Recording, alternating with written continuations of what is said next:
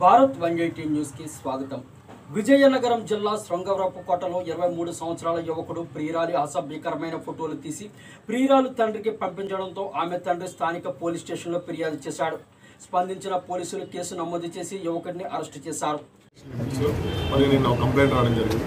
ఆ కంప్లైంట్ సారాంశం ఏంటంటే ఒక విక్టిమ్ ఒక విమెన్ ఆవిడ మీద సెక్షువల్ ఇంటర్కోర్స్ చేసి ప్లస్ పెళ్ళికి నిరాకరించాడు అని చెప్పేసి ఎక్యూజ్డ్ మనకి మన కంప్లైంట్ వచ్చింది. సో మన డీటెయిల్స్కి వెళ్తే ఈ ఏదైతే ముసిరిపల్లి మన సెక్రటరేట్ ఉందో ముసిరిపల్లి సెక్రటరేట్లోని ఈ ఎక్యూజ్డ్ ఎవరైతే శ్రీరెడ్డి నవీన్ అని ఈయన అసిస్టెంట్ ఇంజనీర్ కింద అక్కడ వర్క్ చేస్తున్నారు. సో అక్కడ లోకల్గా ఉన్న ఒక విమెన్ అక్కడ అక్కడ పనిచేస్తున్న ఒక లేడీతో కూడా ఈయన ఇంటిమెస్సీ పెంచుకొని ఫస్ట్ ఫ్రెండ్షిప్ అని చెప్పి దాని తర్వాత లవ్ అని చెప్పి ఇంటిమెస్సీ పెంచుకొని దాని తర్వాత సెక్షువల్ ఇంటర్ కోర్స్ కూడా చేసి దాని తర్వాత మ్యారేజ్కి వచ్చే టైంకి వీళ్ళకి చిన్న డిఫరెన్సెస్ వచ్చాయి. యాక్చువల్గా ఏంటంటే మ్యారేజ్ చేసుకోవాలంటే మేము ఇల్లు కట్టాలి. ఇల్లు కట్టిన తర్వాత మ్యారేజ్ చేసుకుంటాను ఎక్యూజీ చెప్పాడు సో ఆ ఇల్లుకి సంబంధించిన ఏదైతే మనీ ఉందో మాకు మనీ మీరు ఇవ్వాలని చెప్పేసి అంటే మనకి గౌరీ మనకి గౌరీ కూడా వీళ్ళు ఎక్స్పెక్ట్ చేశారు.